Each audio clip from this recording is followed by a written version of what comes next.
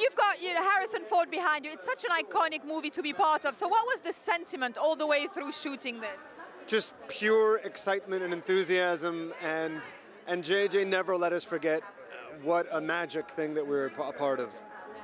And then, how will you remember all of it in the sense of physical, physically difficult, everyday shoots? Were you in Abu Dhabi as well? Luckily, I was not in Abu Dhabi. I was in I was in Pinewood Studios, where it was a little bit cold sometimes, uh, but it, it, was it was wonderful. It's uh, it was an incredible incredible thing to be a part of.